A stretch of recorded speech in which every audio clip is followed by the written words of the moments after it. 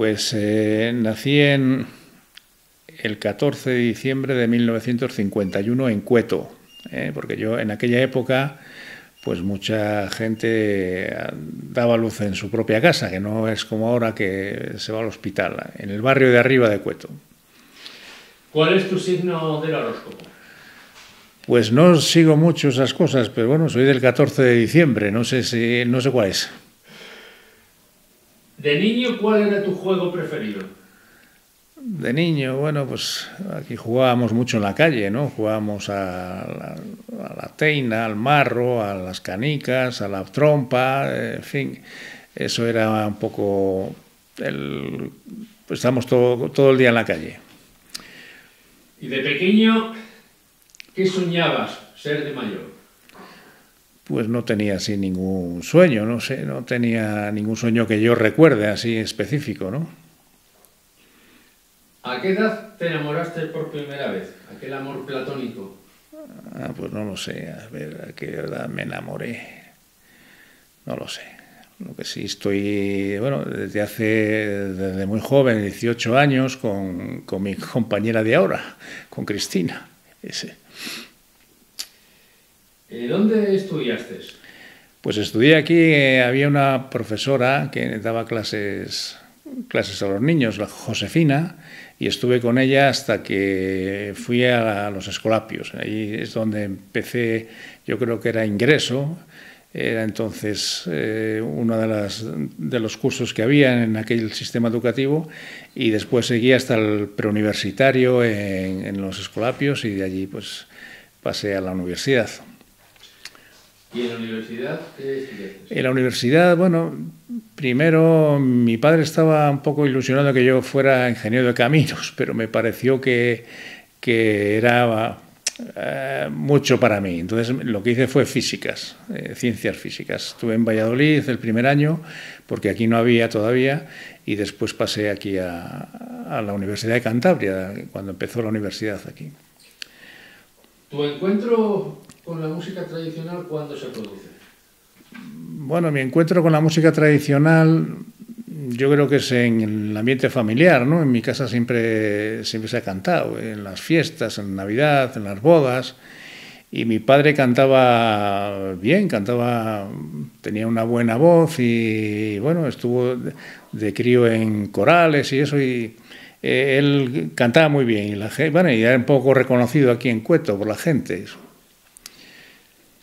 ¿Y el encuentro con el Rabel? El encuentro con el Rabel pues eh, fue ya posteriormente.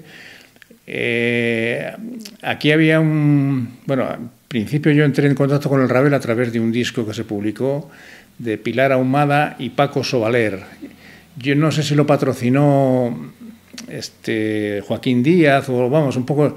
Estaba dentro de ese ambiente que que eh, tenía Joaquín Díaz de, eh, de aquella época, ¿no? Son los años, sí, sí, sí, años 70. Entonces, pues eh, me impactó el sonido del Rabel, de Paco Sobaler.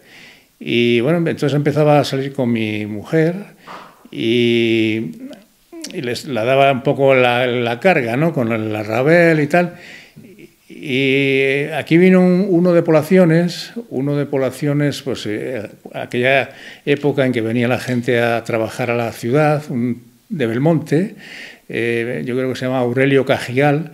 Entonces salió en la prensa que había un, un rabelista de poblaciones que hacía rabeles y tal, y vino, bueno, se publicitó de alguna forma, ¿no? A través de, de esa noticia. Eh, y este era portero de una portero de una casa, de una finca urbana, y mi mujer fue allí a hablar con él y me, regaló un rabel de los que hacía este, este hombre. Y ese fue mi primer encuentro con, con ese instrumento. O sea, por una parte, eh, mi sensación musical, primera sensación con el rabel fue con, con el rabel campurriano, con Paco Sobaler, pero el primer rabel que tuve en mis manos fue un rabel de, hecho de, bueno, del estilo de poblaciones. Luego el, el Rabel te, atrae y empiezas a conocer rabelistas, Pedro Madrid. Sí, bueno, yo empecé eh, tratando de sacar los sonidos que, que, que tenía en ese, en ese disco ¿no? que había comprado. Entonces eh, trataba de aproximarme a eso, a eso que oía yo eh, de forma autodidacta y bueno, pues empecé un poco también tonteando con en, aquella época aquí eh, los rabelistas un poco lo que hacían era cantar canciones picarescas, ¿no? Entonces yo creo que apareció Estelín el Airoso en televisión con el programa de Íñigo, bueno, se, difundió el Rabel a través de ese, de ese tema, ¿no? Y yo trataba de, de, reproducir ese tipo, esas jotas con esas tonadas y tal, ¿no? Y eso fue un poco mi, mis primeros pasos hasta que, bueno, ya pensé que, o eh, creía que tenía ya una cierta soltura y, y, fui donde Chuchi Preciados, que entonces era un programa muy llevaba un programa en Radio Televisión Española muy de mucho vamos de mucho éxito aquí en, Cantabria y fui a preguntarle por los, los rabelistas de poblaciones. Me había enterado que había también en poblaciones este asunto y ese fue un poco el paso de, del, del rabel campurriano de alguna forma a entrar en contacto con los rabelistas de poblaciones. Y de la jota, de la copla picaresca, te, encuentras luego ese gran mundo del romancero, ¿no? donde te metes de lleno. Bueno, yo es que venía, claro, del, del ambiente también, del ambiente social que había entonces. Yo, pues, no sé, tenía mucha estima a Joaquín Díaz, ¿no? Y Joaquín Díaz, pues, también eh, compré algún disco del romancero, de la picaresca tradicional, y todos esos temas que a mí me, atraían, ¿no? Y cuando me acerqué a poblaciones, pues descubrí el romancero, que pues en la parte campurriana yo creo que se toca más las jotas y las tonadas, pero por lo menos yo no había percibido a través de los rabelistas el romancero. Pero eso sí, lo, sí fue mi primera impresión cuando me acerqué a, a las cocinas de poblaciones el que cantaban romances. Y luego ya diste el paso a a profesor de, toda una saga de, de. Bueno, claro, hay, hay un tiempo de, para, de aprendizaje y de, y de escuchar romances y jotas y tal y tratar de aproximarse a esos sonidos, ¿no? Pero sí, el siguiente paso de alguna forma fue el, sí, el pasar a la escuela de a las escuelas que empezaban a nacer entonces de folclore y todo eso. Las escuelas verdes. Las escuelas eh, verdes. Eh, bueno, primero yo creo que empecé en, la sede de ADIC, aquí en, Santa Lucía. Creo que empecé ahí y después sí, cuando ya se institucionalizaron las escuelas y eso, pues ahí en las escuelas verdes. ¿A quién le regalarías hoy un ramo de rosas? ¿A quién le regalaría un ramo de rosas? Pues, pues no sé. Pues no sé. Eh, pues a Joaquín Díaz igual, o a gente, eh, a gente así de, de, esa categoría humana y de ese desprendimiento y de esa, eh, no sé, de esa generosidad como persona. ¿no? Para Chema Puente, ¿qué hay detrás de la muerte? Yo creo que nada, no hay, no hay nada. Yo creo que lo que tenemos lo dejamos aquí, los recuerdos a la gente que nos quiere y lo dejamos por aquí. ¿Qué tal se te da la cocina? La cocina. La cocina, mm, bueno, ah, cocino cosas, ¿no? Pero bueno, soy una persona que ayuda en casa, pero no, no soy protagonista de la cocina, ¿no? Algunas cosas sé, cocinar y, sé, y lo hago, vamos, normalmente, la cena sobre todo y cosas. ¿Cuál es tu plato preferido? Bueno, pues el cachón, está claro. ¿Has fumado alguna vez? He fumado, sí, sí, sí, he fumado, sí. Lo que pasa es que lo dejé también por, un poco por el cante, ¿no? Porque por las mañanas pues tenía carraspera y tal, lo fui dejando, pero hace pues treinta y tantos años que lo, lo, dejé ya, o más, sí, sí. ¿Y cómo conseguiste dejarlo? Pues lo intenté varias veces, lo intenté varias veces hasta que, bueno, la definitiva, ¿no? ¿Qué lugar escogerías para descansar una semana vamos a tres escenarios. Un lugar de Cantabria, un lugar de España y un lugar del mundo. Bueno, pues un lugar de, Cantabria yo escogería poblaciones. Eh, un lugar de España, pues igual elegiría Cádiz. Y otro lugar del mundo, pues es que tampoco he sido muy viajero, pero bueno, una, podría ser París. ¿eh? ¿Eres devoto de algún santo, de alguna virgen? No, no, no tengo devoción. Respeto, respeto la religión y me parece que es algo que, llena la vida a mucha gente, pero en mi caso no, no tengo especial devoción por ningún santo. Si quieres, el que, el que prefiero es San Pablo por las fiestas de mi pueblo, pero, pero no, no tengo especial devoción. Recuérdanos algunos de los días más felices de tu vida. Pues eh, no sé, yo creo que yo creo que soy una persona generalmente que da gracias a la vida casi todos los días, ¿no? y no, no tengo así grandes, eh, pues no sé, quizá el, nacimiento de mis hijos o algún... Eh, sí, el nacimiento de mis hijos podría ser. ¿Tienes alguna manía confesable? Que soy muy cantado, soy cantarín, soy cantado, estoy cantando todo el día, estoy canturreando todo el día.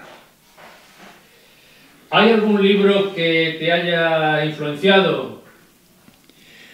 Hombre, a mí me han influenciado, me parece que es eh, más que libros, eh, por ejemplo, poetas, ¿no? Antonio Machado o, Rosalía de Castro, ¿no? Que son poetas que leí en, mi adolescencia y me parecieron muy, muy cercanos a lo que me gustaba a mí, que era la, el cante popular, ¿no? La música popular y yo creo que son, son un poco los poemas o lo, que entonces percibí de, esta, de estos dos poetas.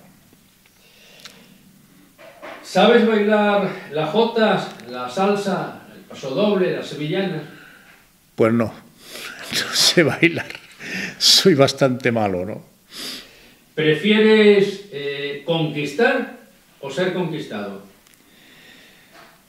Bueno, yo creo que prefiero compartir, ¿no? Más que eh, que la cosa vaya surgiendo mutuamente, ¿no? Más que una conquista. prefiero que, se vaya compartiendo las cosas. ¿Crees que el fin justifica los medios? Yo creo que no. ¿Cuál es tu vino preferido? El vino preferido es el tinto y ahora que es que tengo un yerno que, que se dedica eh, tiene viñas en, el campo de Borja, pues lo que solemos eh, disfrutar son los, los, vinos de aquella zona, del campo de Borja. ¿Y a nivel de combinados, de licores? Pues no tengo ninguna inclinación. Me gusta más el, el vino así, a palo seco. ¿Qué te produce miedo? ¿Qué me produce miedo? Pues pues no sé, ahora que me voy haciendo mayor, pues igual la soledad, ¿no? La, no sé, la enfermedad o ese tipo de, situaciones que, nos sentimos un poco desamparados, ¿no? Pero no soy especialmente miedoso. ¿Te consideras una persona romántica? Bueno, me considero... Eh, sí, es posible que sea, sea esa la palabra romántica, sí.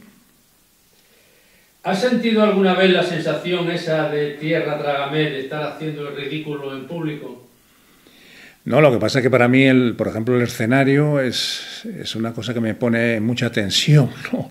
Y es que eh, tengo, la, bueno, tengo la disposición siempre de, tirarme a la piscina, como sea, ¿no? Y de salir nadando. Pero me crea mucha, me crea tensión, ¿eh? Hasta que no rompo un poquitín el el hielo y tal, estoy, estoy nervioso. Volvemos a los tres escenarios, Cantabria, España y el mundo. Dinos eh, a qué personajes eh, o instituciones admira. Uno de Cantabria, uno de España y alguien del mundo. Pues, eh, decirte, de Cantabria... Eh, pues eh, por ejemplo Torres Quevedo podría ser un personaje eh, Vital Alzar también ¿no? en Cantabria este tipo de personas que bueno son especiales ¿no? en España pues eh, yo le, admiro mucho a Antonio Machado y en el mundo pues pues no sé los grandes los grandes inventores que nos han aportado cosas, ¿no? Pues Fleming o algún tipo de científico. ¿Cuál es tu programa en, radio, en televisión o serie en Netflix, o sea, preferido? Pues mira, el, de televisión lo que suelo escuchar es 24 horas de Radio Televisión Española, pero no mucho más. Eh, bueno, así hemos tenido así en este invierno, porque ahora en verano se, veo menos la televisión, ¿no? Las, sobre todo las eh, donde dan estos programas de cine español, tanto no sé si uno es eh, a media semana y otro es los domingos, ¿no? Eh, eso me, me, gusta, ese tipo de, de, programas. ¿Sigues algún deporte? Pues de practicante andar, no hago más que ese deporte de andar. Pero así deportes de, de, competición o de participación, pues no hago deporte. ¿no? Pero eh, ¿sigues alguno por televisión? Bueno, por televisión, el fútbol, algo, pero tampoco soy forofo de ello. Eh, ¿Cuál es tu, el equipo que mejor te cae de la primera división? Yo creo que soy algo merengue, ¿eh? soy, tengo cierta inclinación al Madrid, aunque no soy forofo, pero bueno, eh, tengo cierta inclinación a, al Real Madrid. Cariño hacia la gente. Si tuvieras el poder de cambiar algo en el mundo, ¿qué es lo primero que cambiarías? Buah, eh, pues no lo sé. Poder de cambiar, pues hombre, eh, el cambiar, eh, pues que, que, no sé, que hubiera más control, que, que no hubiera tanta gente eh, desamparada por el mundo, ¿no? De, de, tanto hambre o tanta situación así extrema, ¿no? De, como consecuencia de las guerras, o eso sería quizá lo que, lo que haría. ¿A qué país o países te gustaría viajar que no has viajado? Bueno, pues no he viajado mucho y me gustaría viajar a, a muchos países, ¿no? Pero bueno, eh, he estado en Cuba, por ejemplo, que para mí fue con, con Cristina, con mi mujer, que fue una buena experiencia, ¿no? Y quizá volveríamos a estar allí. O México, por ejemplo, sí que me atrae mucho México. ¿Cuál crees eh, que es el país más justo y mejor organizado del mundo? Hombre, más justo, pues no, no lo sé. Yo creo que esos países están en la, en la Unión Europea, ¿no? Es donde más eh, justicia hay, más democracia. Eh, tanto, por ejemplo, Estados Unidos sí que sí que me atrae como país de, las libertades, ¿no? Pero no sé, hay situaciones ahí muy complejas también del racismo y de situaciones muy duras, ¿no? O, de, por ejemplo, de que la gente no tenga acceso a la sanidad pública, a la, una sanidad como tenemos en España, ¿no? Universal y eh, pero bueno, yo creo que sería alguno de estos países de, de nuestro entorno, ¿no? De la Unión Europea. ¿Qué idiomas dominas? Pues yo soy de francés. Cuando yo estudiaba, eh, fue, era lo que lo que obligado a los que estudiaban inglés eran uno o dos, en, yo creo que de cada curso o de casi de todo el colegio. Y bueno, pues eh, francés es lo que me, lo que me defiendo, vamos. Si un... ¿Tienes algún sueño incumplido? Pues bueno, el sueño para mí sería el que la música nuestra, la música hispana, tuviera más presencia, tuviéramos más, más conocimiento de ella, se expresara más, eh, bueno, eh, más la gente musicalmente en, en la calle, en, los, en las fiestas, eh, que no fuéramos, que no estuviéramos eh, en el camino de ser simplemente espectadores de todo, ¿no? Gente que escucha, pero, pero no que participa. Me gustaría que se participara más. ¿Tu película de cine preferida?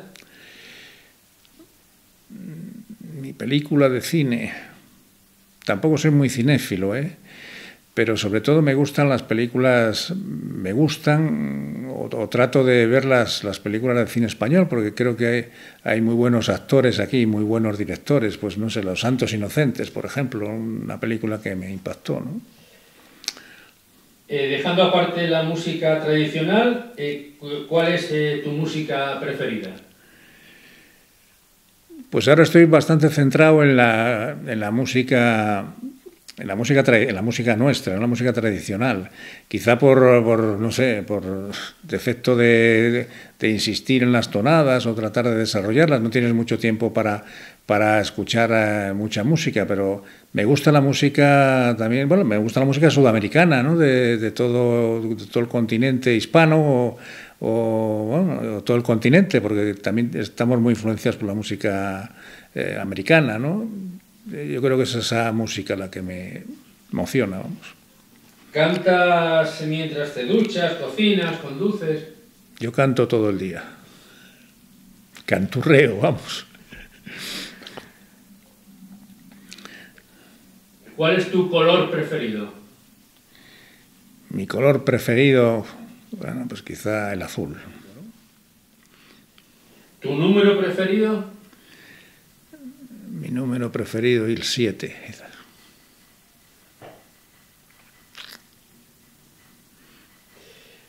¿Cuáles son tus objetivos y tus sueños actuales? ¿Hacia dónde caminas? ¿Cuál es el futuro que, por el que luchas?